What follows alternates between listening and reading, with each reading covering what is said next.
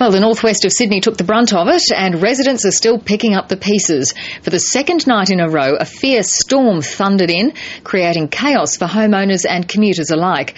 And if the night was bad, the morning wasn't much better. It may not have been as visually spectacular as the previous night's storm, but it certainly did more damage.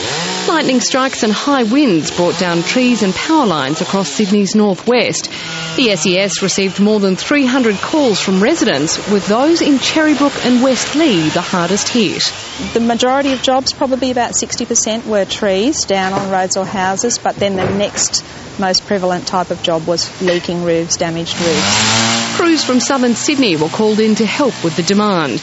The family in this home spent the night in a hotel after a tree cut a hole in their bathroom. And we saw the tree was broken. Then I started to freak out. SES volunteers say they expect to spend another night rainproofing houses damaged by the storm. The damage wasn't just confined to houses, with two people struck by lightning. A postman was knocked from his bike at Ambervale, while another man was struck at Engadine. Both were taken to hospital but have since been discharged. And it was a testing night for commuters on a number of Sydney's train lines, with storms causing delays of up to four hours. Well, they've got to wait for the trains to start again, or we'll wait for my wife to come down and pick me up, which could be another hour. It's going to be probably 12 o'clock or 11 o'clock before I get home.